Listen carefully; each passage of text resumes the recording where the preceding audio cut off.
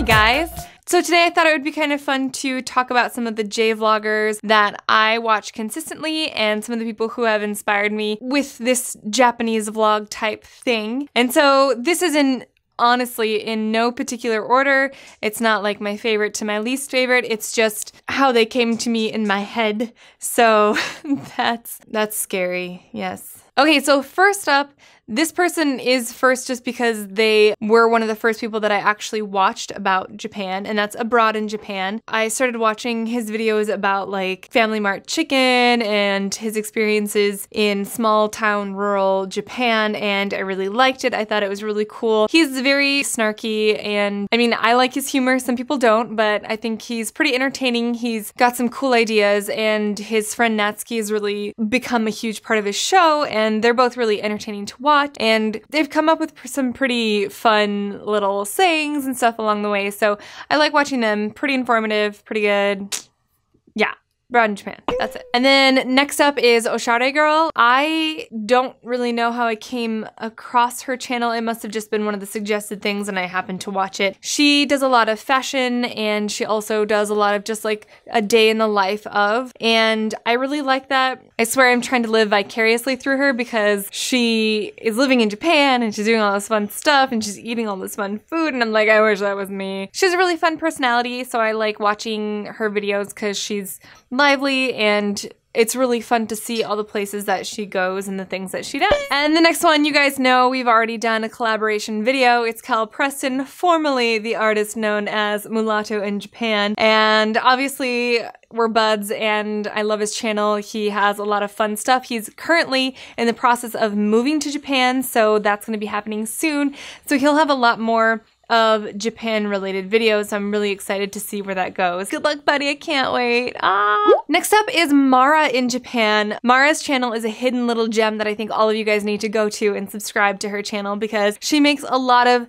cool videos about places that you might not think about right away. So it's they're great little like snapshots of places to put on your wish list of places to go see around the Tokyo area or Japan as well because they are traveling around to farther places also. And what's great about her videos is that her shots and everything are top quality and they're often very short. So if you don't want to be like spending a whole lot of time watching someone's video and listening to them kind of like drone on, um, you can watch her videos and they're short to the point, but really beautifully shot. So I definitely recommend her channel. Another one of my favorite J vloggers is Sharla in Japan. She's kind of one of the OGs of the Japan vlog people. I started watching Sharla around the same time as Abroad in Japan because they have been doing this probably for the longest, so they probably have the biggest following along with Rachel and Jun, which I'll mention. She just seems like she's really nice and does a lot of like gaming and anime and like figuring collecting type videos, which I'm not super into, but they're fun to watch because she's she's very sweet and very cute, and I'm sure most of you guys know who she is already. So, but yeah, I I really enjoyed when I was searching for information about Japan before we traveled the very first time. Hers was one of the videos that I watched, and I got a lot of helpful information. So yeah, it was good. Another girl that I'm pretty new to her channel within this last year is Peach Milky. She's a gal from Ireland, and her and her boyfriend recently moved, but before that, she did a lot of cosplay videos and she's really cute. She looks great in all of like the anime-esque type costumes and stuff. But her videos are fun and she goes around to a lot of different things and of course she talks about makeup so I like that aspect as well. And she's just she's a girly girl so if you're into kind of that girly aspect it's and a good channel to check out. And then, like I mentioned, Rachel and Jun. So, Rachel and Jun, Sharla in Japan, and Abroad in Japan were some of the top three informative channels that I utilized on my first trip to Japan. And so, they were very helpful in that respect. And Rachel and Jun, some of her like earlier videos are very informative. Like, a lot of things helped me prepare for my trip to Japan. So, I appreciate that. And another gal that I also watched is Experience Japan with Yuka. She is actually Japanese and she makes videos about Japan for foreigners, and she has a lot of helpful tips. And so that's really good because, again, preparing for trips there, learning cultural customs and things like that, like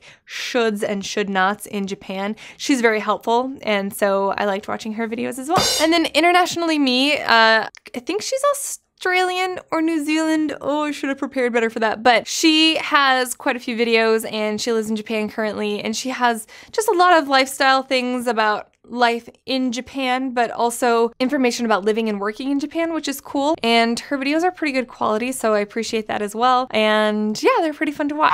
And then last, but certainly, certainly not least, this is more of like an honorable mention because he doesn't really do J-vlog videos, but he does have a lot about culture and language, and that's Kevin Abroad. And his videos sometimes centralize on the Japanese language and learning Japanese and a lot of different other languages, which I think is really cool and I really love his videos because they're very informative and they help give you an interesting perspective on being bilingual and also taking in other people's cultures and learning from them. And so I definitely recommend his channel as well. And so those are just like, they're my top most watched J vloggers and just vloggers in general on YouTube currently. I do watch other people's vlogs and channels here and there, and I'm constantly being introduced to new people, which is really exciting and fun. And I love how the community continues to grow. And so, if there's some people on the list that you haven't checked out yet, please go ahead and check them. I'll link all of their channels in the description box below. And I hope you guys give them a fair shot. Check out some of their videos. I hope you loved this video. And if you did, give it a thumbs up and don't forget to subscribe. And I will have more videos out about Japan. Thank you guys. Take care.